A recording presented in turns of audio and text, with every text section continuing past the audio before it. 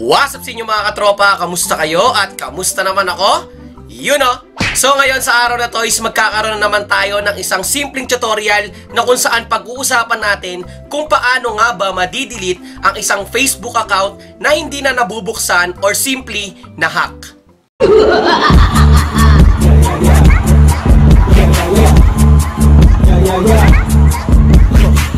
Marami nga sa atin ang nagkakaroon ng problema pagdating sa pag-open or pag-login ng mga Facebook account at marami nga sa Facebook account ay hindi na na-open. Kaya ang gusto ng may-ari ng Facebook account na yon ay madelete na lang yung account na yon para hindi na mag-post yung hacker or yung ibang tao na gumagalaw ng Facebook account na yon. At syempre, maiwasan na mag-post pa ng kung ano-ano sa Facebook account na yon.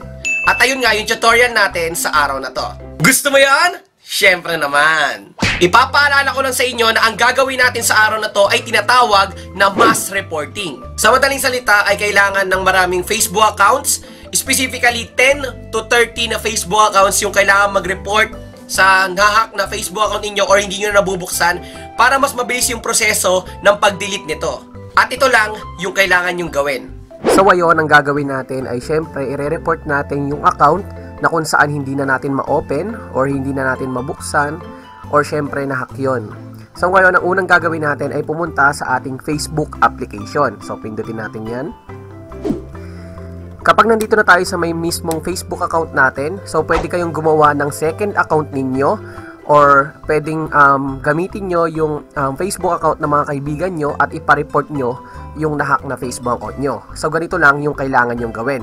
So take note, ang gagawin natin ay kailangan mass reporting, ibig sabihin marami yung kailangan mag-report. Mas maganda kung 10 people or 10 tao hanggang 30 na tao.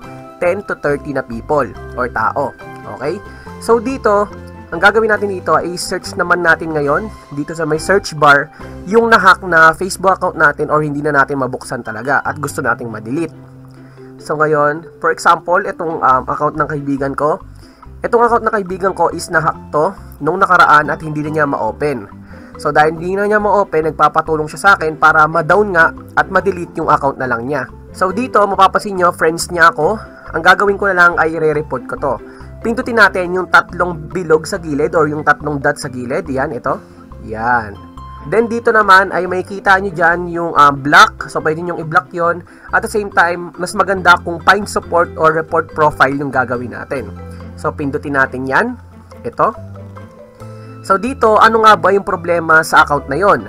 Um, pretending to be someone, harmful ba or nag spam not using a real name. Pero dito, ang mas magandang gawin natin na first step is I want to help. Yan. Gusto natin siyang tulungan. So, I want to help. At dito may nakalagay na suicide, self-injury, harassment, or hack.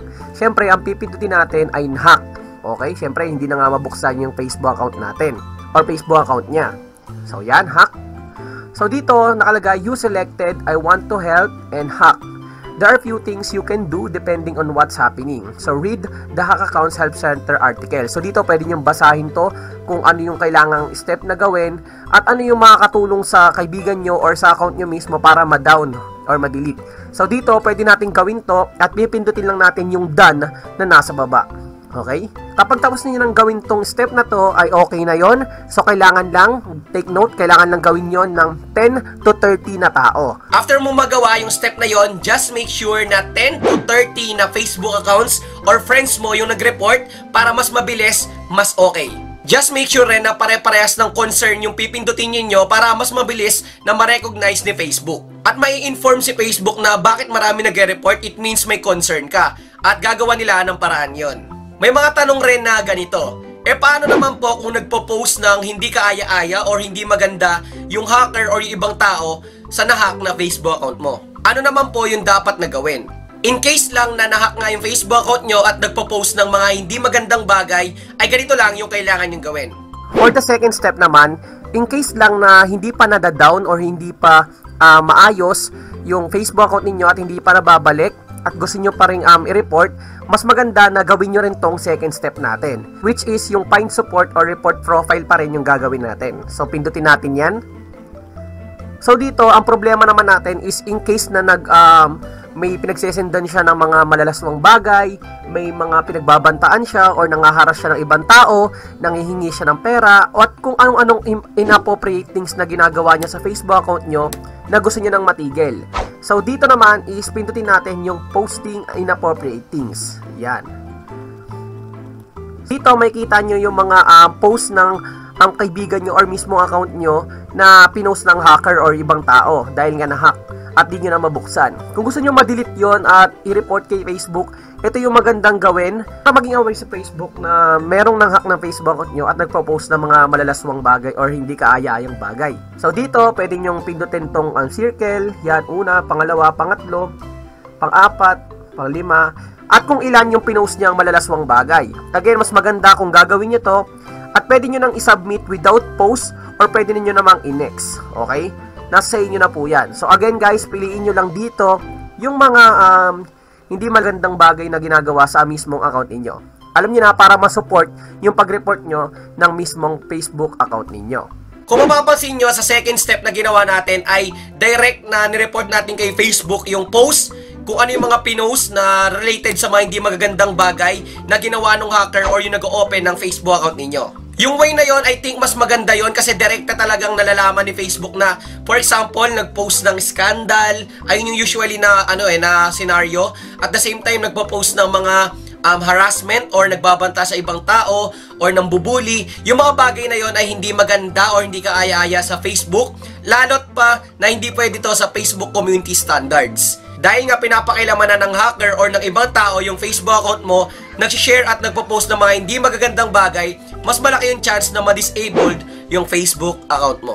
Kasi again, baka may ma-post or share siya na again sa Facebook community standards. Siyempre, madi-disabled yun. Ang dalawang steps na ginawa natin ay para lang po sa mga gusto na ma-delete yung Facebook account, lalo na yung mga main account nila na pinapakailaman ng hacker at nagpo-post ng mga hindi magagandang bagay. Mas maganda itong gawin kapag hindi nyo na talaga ma-recover kaysa naman pakilamanan pa ng iba at masira pa yung image natin. So ayun yung tutorial natin sa araw na to at syempre kung bago ka lang dito sa YouTube channel ko, again ako nga po pala si Steve Mart TV at binabati kita ng Happy New Year. At dito sa channel ko ay welcome na welcome ka at gumagawa nga po pala ako ng iba't ibang tutorials na about sa Facebook recovery, Gcash verification at marami pang iba. At ayun lang sana may natutunan kayo for today's tutorial at naging aware kayo na pwede nga ma-delete yung Facebook account na hindi na natin nabubuksan. So ayun, kung napadpad ka dito sa channel ko, ay welcome na welcome ka at pwede ka mag-subscribe at pindutin ang maiwagang notification bell para sure at sure at 100% sure na updated ka sa mga future tutorials ko. You know! At kung meron ka mga clarifications, suggestions, or questions, ay pwede mo yung i-comment dyan sa may comment section sa baba. Peace out, like, comment, and subscribe. Peace! One love.